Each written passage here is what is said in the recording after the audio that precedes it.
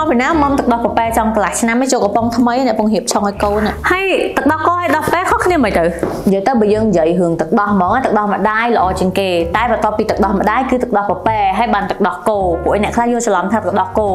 អឺបន្ទាប់ពីទឹកដោះម្ដាយតែក៏ពិតមែនទេទឹកដោះប៉ប៉ែគេរកឃើញថាវាល្អជាងហើយស្តៀងជាមួយនឹងទឹកដោះម្ដាយជាងទឹកដោះគោហើយទឹកដោះប៉ប៉ែហ្នឹងមិនទៅហោះសុភីអត់ឃើញទេនេះ អូឃើញហ្នឹងហើយអញ្ចឹងទឹកដោះប៉ប៉ែហ្នឹងវាមានលក្ខណៈពិសេសច្រើនទីមួយគឺវាមានជាតិ lactose ទាបអញ្ចឹងសម្រាប់កូនដែលមានបញ្ហាពិបាកនឹងបត់ជើងអីហ្នឹងអញ្ចឹងវាជួយដែរឲ្យដោយកូនហ្នឹងមានបញ្ហាហ្នឹងទេហើយវាមានដូចជាគេហៅអី prebiotic ហើយនឹង A2 ដែលប្រៀបនឹងទឹកដោះម្ដាយស្តៀងមែនតើអញ្ចឹងនេះបើមកមើលចិត្តណាឯងឃើញហើយអឺវាល្អិតមែនតើហ្មងម្សៅទឹកដោះប៉ប៉ែហ្នឹងអញ្ចឹងវាធ្វើឲ្យកូនយើងហ្នឹងពេលដែលយើងមកឲ្យឲ្យវាមុំទៅវាងាយនឹងរំលាយអាហារប្រព័ន្ធរំលាយហ្នឹងរំលាយស្រួលអញ្ចឹងកូនហ្នឹងអត់ងាយក្តៀនទេហើយមួយវិញទៀតវាមានអីគេគេហៅ cholesterol ទាបអញ្ចឹងអាជាតិខ្លាញ់ហ្នឹងទាបទៅវាធ្វើឲ្យកូនអត់ងាយប្រឈមមុខជាមួយនឹងជំងឺលើសជាតិស្ករឬក៏ខ្លាញ់ក្នុងឈាមអត់តន់អស់ហើយមានវីតាមីនហើយនិង protein ច្រើនទៀតជួយក្នុងការលូតលាស់របស់កូនយើងល្អទៀត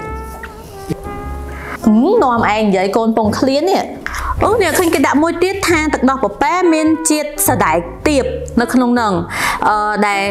សមស្របសម្រាប់កូន ដែលមានជំងឺខ្វះអង់ស៊ីម G6PD នេះអាហ្នឹងមិនទៅជាតិសដែកនៅក្នុងទឹកដោះពប៉ែមានទាបដូចជា0.1%ឯងអញ្ចឹងសម្រាប់កូនក្មេងដែលមានអាជំងឺប៉ះមួយជាតិសដែកអត់បានណាគេហៅជំងឺអីគេខ្វះអង់ស៊ីម G6PD ហ្នឹងអញ្ចឹងកូនហ្នឹងមកទឹកដោះពប៉ែទៅអត់មានបញ្ហាប៉ះពាល់ដល់គាត់ទេ ឆ្ងល់នេះអញ្ចឹងបានន័យថាអាទឹកដោះប្រប៉ែហ្នឹងសម្រាប់តកូនមានបញ្ហាឯងចុះដូចវេះធម្មតាអញ្ចឹងក្មេងគេផ្សេងធម្មតាអញ្ចឹងប្រើបានអត់ដូចនិយាយប្រាប់មុនហ្នឹងអញ្ចឹងចង់និយាយថាចេះនៅក្នុងទឹកដោះ ប្រប៉ែហ្នឹងវាមានផ្ទុកសារធាតុ2ដែលស្តៀងទៅនឹងទឹកដោះម្ដាយមែនតើគឺ A2 ហើយនិង prebiotic ដែលទឹកដោះគោអត់មានដូចអញ្ចឹងទេទឹកដោះគោមានតែ A1 ទេអញ្ចឹងអាសារធាតុ2ហ្នឹងហើយដែលជួយរំលាយក៏ដូចជាសម្រួលដល់ប្រព័ន្ធរំលាយអាហាររបស់កូនយើងធ្វើឲ្យកូនយើងអត់ងាយប្រឈមមុខជាមួយនឹងបញ្ហាក្តៀនរាករូសឬក៏អីផ្សេងផ្សេងទេនិយាយទៅជួយឲ្យប្រព័ន្ធគ្រឿងក្នុងកូនយើងល្អ សួរអស់នៅមិនទាន់មានកូនចង់ដឹងចង់យ៉ាងហ្នឹងហេគេសួរបន្តិចបន្តួចសោះគេចង់ដឹងមិនស្រួលប្រាប់កូនប្រាប់ក្មួយអីតទៅទៀតយល់ទេចង់ដឹងថាចេះបើសិនទឹកដោះប្រប៉ែហ្នឹងវាល្អអញ្ចឹងណាកូនមុំទៅឆ្លោះមកទៅត្រូវអត់ចង់និយាយថាចេះអាហ្នឹងគេចេះតែនិយាយឯងមែនតើទៅមិនថាទឹកដោះប្រប៉ែទឹកដោះគោក៏ដោយកូនខ្លះមុំទឹកដោះគោដូចគ្នាមួយមួយឆ្លោះមួយអត់ឆ្លោះទេទឹកដោះប្រប៉ែក៏ដូចគ្នាទឹកដោះម្ដាយក៏ដូចគ្នានិយាយទៅនិយាយឲ្យស្រួលស្ដាប់ហ្មងគឺតក តងជាមួយនឹងដំណពូជសែនរបស់យើងនឹងទេហើយទី2ទៀតអាហារូបត្ថម្ភដោយឥឡូវវ៉េសអញ្ចឹងគាត់ឡើងចូលដល់78ខែ9ខែអញ្ចឹងគេថែមបបរថែមអីមកទៀតហើយបើយើងឲ្យគ្រឿងដែលល្អទៅគាត់គាត់លូតលាស់ក៏បានល្អដូចគ្នា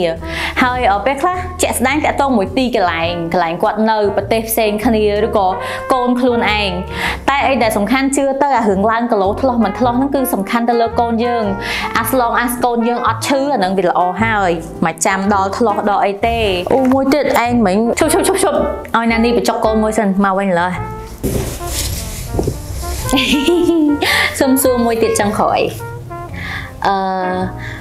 អា brand ទឹកដោះប្រប៉ែហ្នឹងឬគេថាអញ្ចេះអ្នកខ្លះគេហៅ Royal OZ អ្នកខ្លះ Royal O's អ្នកខ្លះអីមិនចេះច្រើនណា ហើយអាហ្នឹងមែនតើឈ្មោះវាអីគេទៅមែនតើឈ្មោះគេចំហ្មងគឺ Royal O's ផលិតហើយ workshop 100%នៅប្រទេសអូស្ត្រាលីចង់ហៅមិនហៅទៅឲ្យតែស្គាល់ថាហ្នឹង Royal O's ទៅបានហើយ